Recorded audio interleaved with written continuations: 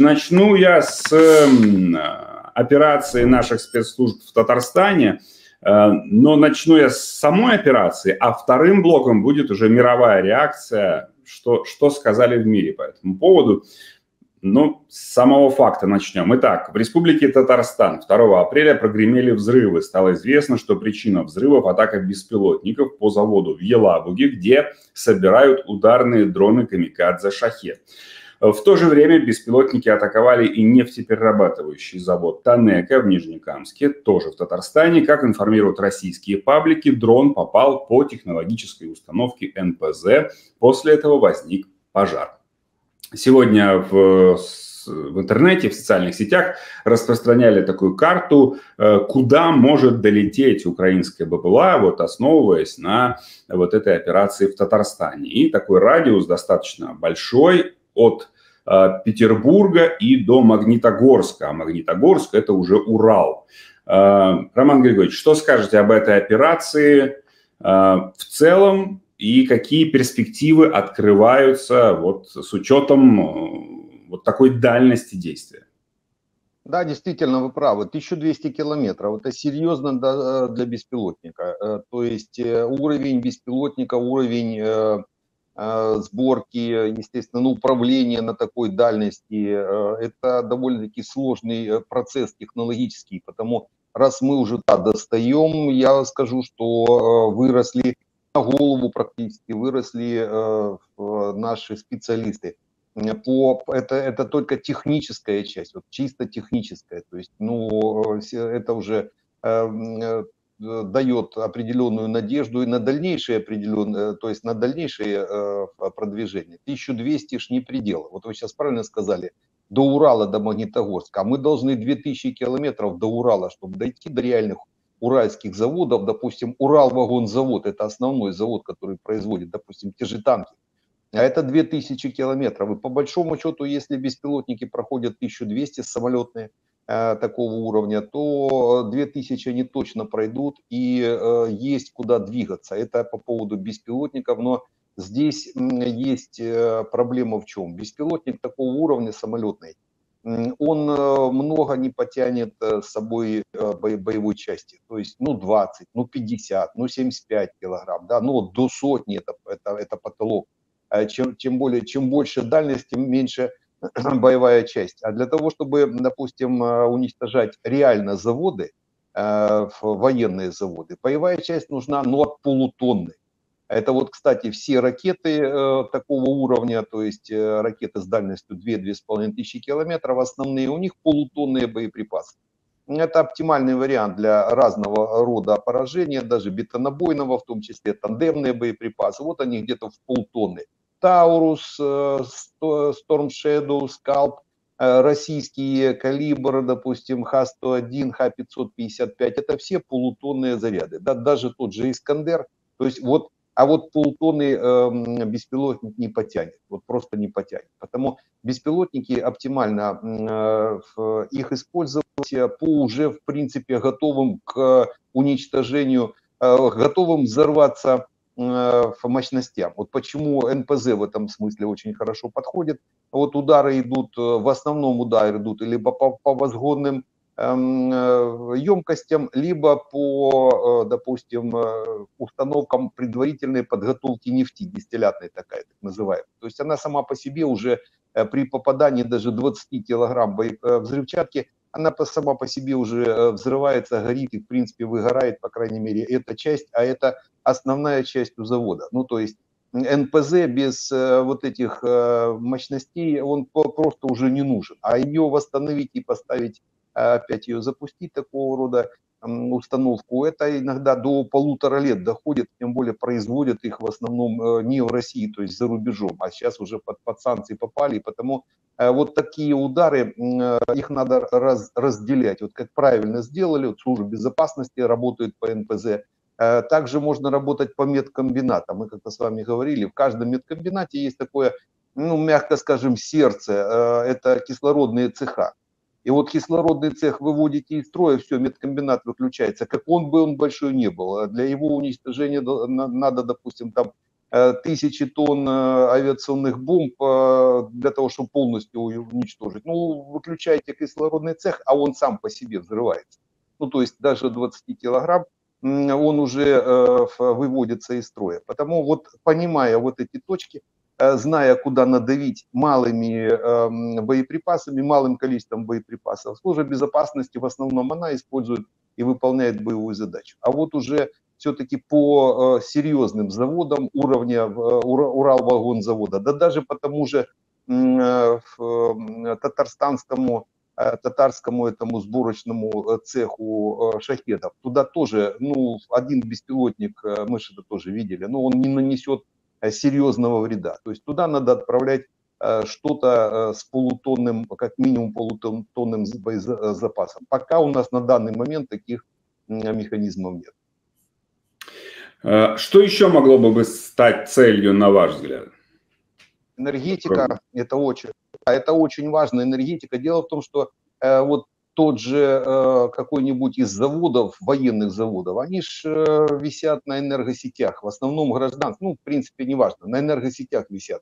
Э, и понимая эти точки, куда можно попасть, допустим, по трансформатору, по тягловым подстанциям, тяговым подстанциям на железной дороге, их выводить можно беспилотниками в том числе. То есть пока у нас нет полутонных э, зарядов, нет пока ракет на такую дальность. То есть беспилотник, он бы э, себя неплохо показал по этим точкам. Их еще где-то с десяток есть по, по разным направлениям. Причем э, это та энергетика, которая питает военную отрасль российской промышленности в чистом виде, хотя она сейчас вся экономика российская на военные э, рельсы перешла. Ну вот непосредственно, вот это как было по, наши специалисты, вот Главное управление разведки отработало, по-моему, вчера или позавчера по э, станции Севастополя. То есть был уничтожен именно тот объект генерации, который питал военный объект рядом стоящий. Ну, то есть вот такая точечная вывод из строя, причем иногда это системы ПВО либо системы связи, либо системы ПВО. И в этот момент, когда уничтожается энергетика, пока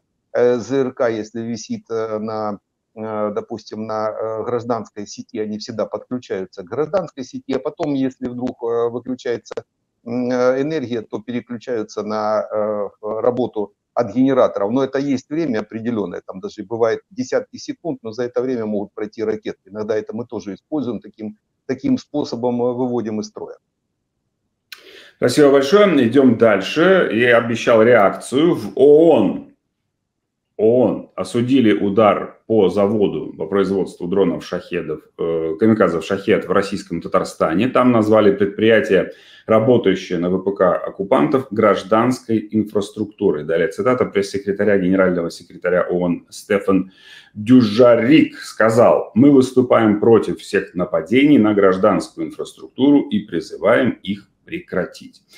Президент Украины Владимир Зеленский посоветовал тем международным организациям, которые осуждают удары украинских дронов по российским нефтеперерабатывающим заводам, приехать в украинские города, которые постоянно находятся под обстрелами России, и уже потом что-то осуждать. Далее цитата.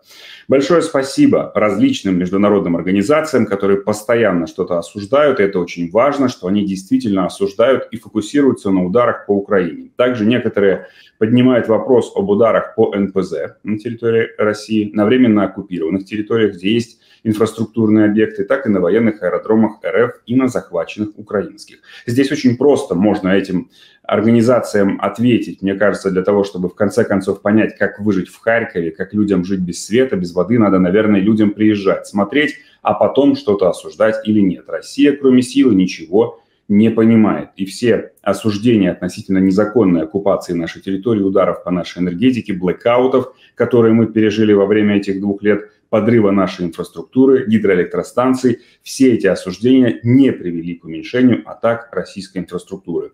Это свидетельствует о том, что эти люди понимают только то, когда есть мощный ответ, поэтому я считаю, что наши западные партнеры должны поддерживать украинские ответы. Конец цитаты. Роман Григорьевич, э, удивила вас реакция наших, не так аккуратно скажу сейчас, ООН, как минимум, э, поскольку ну, это международная организация, мы пока не видим э, публичных сигналов, не знаю, из Франции или Германии э, в ожидании этих ответов, но вот ООН уже, значит, э, говорит, что против нанесения ударов по гражданской инфраструктуре. Ну какая же гражданская инфраструктура? Завод по производству шахедов, которые летят каждую ночь убивать украинцев. Ну, а ООН уже давно стала организацией, а тем более она по-другому уж и не могла быть другой. Дело в том, что Россия до сих пор присутствует в Совете Безопасности ООН и является одним из таких серьезных спонсоров ООН. Э, потому они по-другому не могут действовать. Это уже просто э, это проблема мировая сейчас. Э, изменять надо состав руководящих органов Организации Объединенных Наций, либо ее переименовывать, допустим, в Организацию пяти ядерных держав. Ну, примерно так. И в диктат остальным неядерным державам. Хотя, конечно, ядерных держав сейчас уже больше – то есть помимо э, того же Китая, России, э, Америки, Франции и Великобритании есть еще и э, тот же Пакистан, Индия, и тот же под вопросом Израиль, как всегда, Иран, Северная Корея. То есть по большому счету спектр он вроде как больше. Это только если по ядерке смотреть. Но тем не менее до сих пор давлеет этот Совет Безопасности, в который входят Э, эти ядерные государства. И это проблема. Проблема для всего мира, ее надо однозначно решать. Вопрос когда, но во время боевых действий, не с руки, я бы так сказал, а уже после э, войны, после нашей победы вопрос надо однозначно поднимать э, реформирование всей этой организации, особенно как минимум ее управления. Иначе, иначе мы будем получать вот такие интересные посылы э, по поводу гражданских объектов и так далее и тому подобное. Очень хорошо, кстати, некоторые европейские лидеры на, этот, на эти вбросы ответили, начиная от Франции, кончая, по-моему, финами. Мы имеем право защищаться. На нас напали, мы защищаемся. И все, этим все сказано. Россия напала на Украину, и Украина сама выбирает механизмы защиты, исходя из своих возможностей. А у нас вот есть у нас возможность беспилотниками работать. Будем работать беспилотниками. Нет у нас пока ядерного оружия. Оно может где-то есть там прикопанное, не все же отдали. Мы же в конце концов украинцы. Э, кто его знает, может быть, если сильно надо будет, так и достанет. Э, но на данный момент, естественно, э, то, что есть, тем и пользуемся. Есть беспилотники надводные. Ну вот треть российского флота отминусовали. Треть беспилотниками, не имея практически ни одного военного корабля. Э, та же самая картина и уже сколько? 14% э, углеводородки российская отминусована. Чем? Беспилотниками, копеечными по большому счету, если считать, допустим, э, стоимость большого, ну, то есть стоимость остальных видов вооружений. Потому вот, как это называется, голь на выдумку хитра. Вот мы пока в таком режиме, в этой голе, ну, выдумка у нас довольно-таки Э, серьезной, мы видим, э, она неплохо работает, тем более э, наши руководители наших спецслужб, армии, они выполняют свою задачу согласно того, той присяги, которую давали народу Украины, не правительству Украины, не там Э, тем более правительством каких-то других э, республик, а народу Украины, а там конкретно суверенитет и территориальная целостность. Ничего другого не написано. Потому офицеры, по крайней мере офицеры, которые себя считают офицерами, они эту как раз э, присягу народу Украины и выполняют. Уничтожают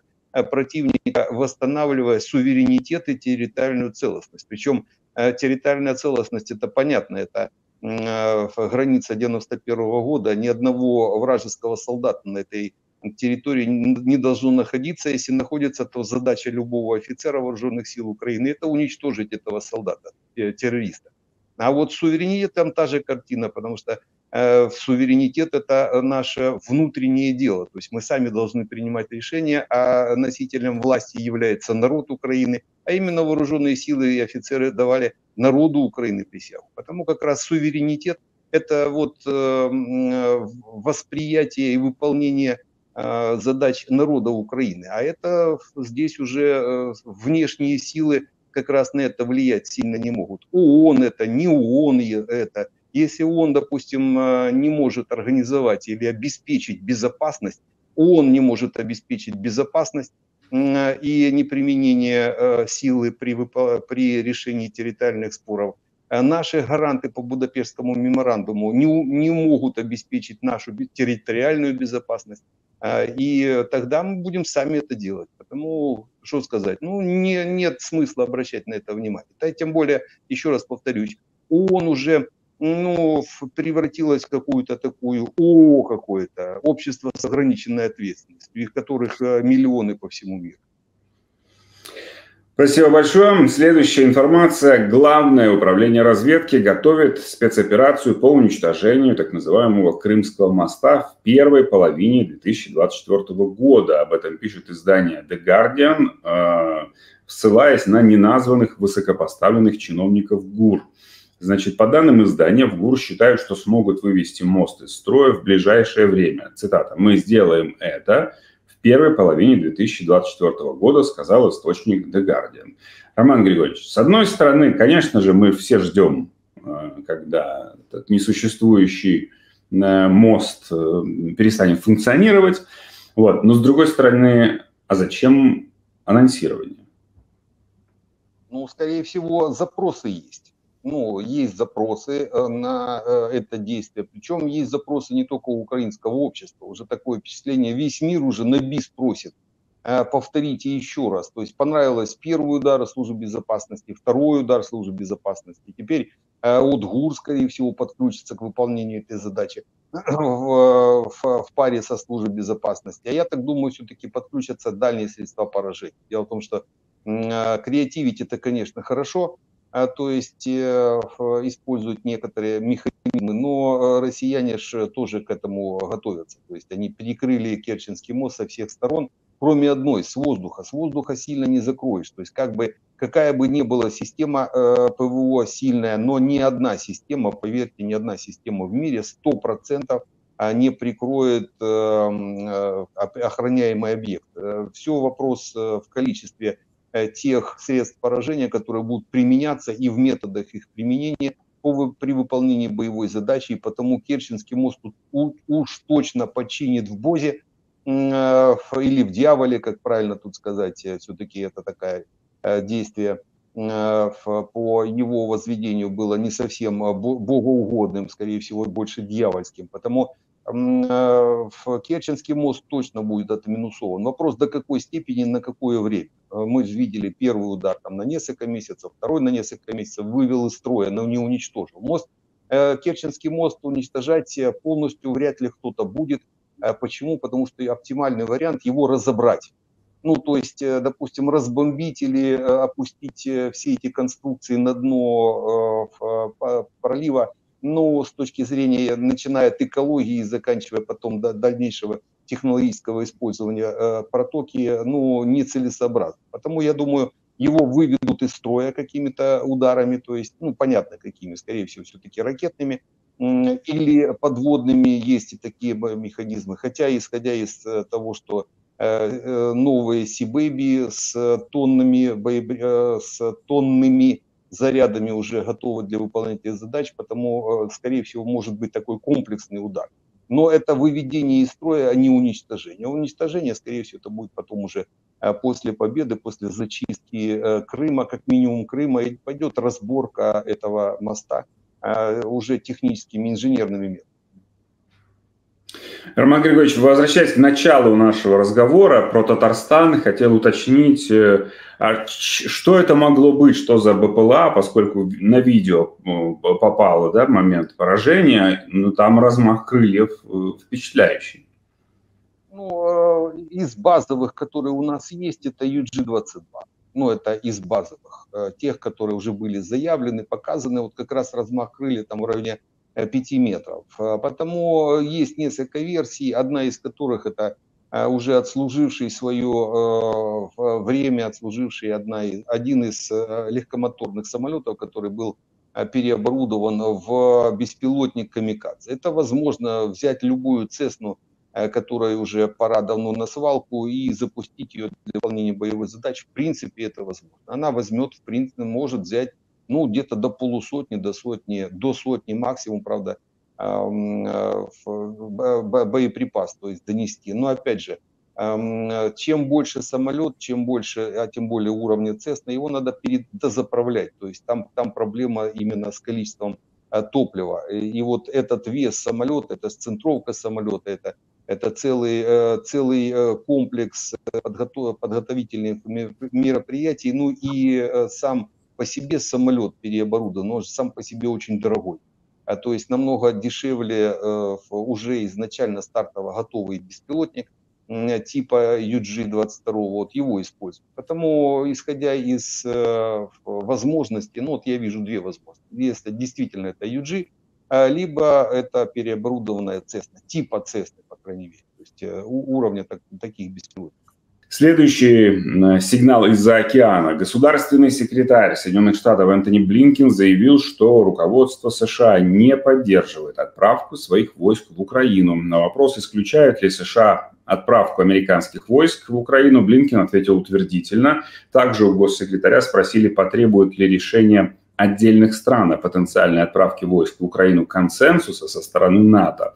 На что он ответил, я воздержусь от гипотез на будущее, но наша политика очень четкая. Политика президента Байдена четкая, американских войск на украинской земле не будет. Э, подчеркнул он. Э, Роман Григорьевич, как читать этот сигнал? Дешифруйте его, пожалуйста, э, с такого дипломатического, военно-дипломатического языка, как, как правильно понимать слова Блинкина. Ну, то есть примерно так. До инаугурации Трампа э, войск США на нашей территории не... Ну, вот это вот так я это все услышал и прочитал понятно, сарказм, э, но в, как, в доле шутки доля шутки есть, в каждой шутке доля шутки. Э, то есть, э, по крайней мере, эта администрация Белого дома не видит никаких возможностей, допустим, или целесообразности использования американских войск на нашей территории. Значит, есть какие-то моменты, которые были проговорены с либо Китаем, либо с теми же россиянами. То есть э, так, такое категоричное, по крайней мере, утверждение, оно действительно в такой категорической форме, это значит, есть какие-то такого рода завязки. Но здесь есть и плюс, то есть э, понимание того, что американцы, ну уж не прикажут французам э, или литовцам, или латвийцам, или эстонцам, полякам, румынам принимать свои решения. Но они, в принципе, и не могут это сделать, исходя из тех отношений даже внутри самого НАТО. Э, вот, допустим, э, сейчас на данный момент э, в Африке тот же эм, французский иностранный легион выполняет боевые задачи, причем воюет с россиянами. Частные военные компании – это российские игрушники. По большому счету все это прекрасно знают. Война идет в Африке довольно-таки серьезно. Почему, в принципе, Франция, понимая, что ее практически выдавливают из Сахеля, мы уже проговаривали этот вопрос, то есть вот они последнюю потеряли Буркина-Фасо. Э, и э, понимая это, оптимальный вариант, и это, это хорошо, если французы это понимают. Оптимальный вариант сейчас вернуть обратно влияние в Сахеле, то есть в Центральной Африке, это как раз участие французских войск в, в уничтожении россиян на нашей территории, то есть в разгроме российской армии. Поверьте, после разгрома российской армии на нашей территории, если в этом будут участвовать и французские войска в том числе, неважно в, каком, в какой ипостаси, да, на линии фронта или в, подготовке, э, то вопрос по Центральной Африке у них автоматически решится. Автоматически, э, так как э, сразу там это же все-таки центральноафриканские Э, отношения так называемые, там любят силу. И если французы эту силу покажут, а их, им оптимально как раз ее показать на европейском континенте, они ее покажут, и там эти вопросы решатся сразу.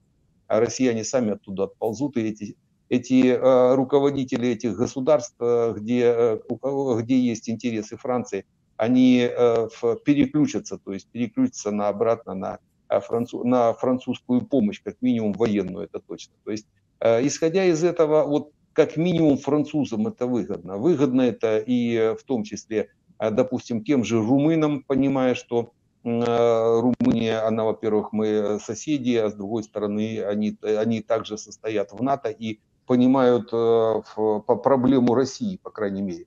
То есть эти, эти же самые моменты, связанные с участием еще как минимум своих войск, как минимум где-то с десяток европейских стран, рассматривают такие варианты. И я думаю, как только кто-то один решится, обозначиться. Дело в том, что войска-то у нас есть. У нас с 2014 года ну, есть воинские части, причем именно воинские части или командированные, или, допустим, с расположением у нас части стран НАТО у нас есть начиная от Канады и э, заканчивая э, странами Балтии. Я, я сам встречался в свое время с канадцами и еще в 2014-2015 году. То есть, по большому счету, э, здесь ничего уже такого страшного нет. Единственное, обозначиться это в информационном потоке, обозначить свое присутствие, причем официально обозначить присутствие, запросить у нас в открытом режиме разрешение, ну или запрос и так далее и тому подобное. Я думаю, как раз все это с Франции начнется. Спасибо большое.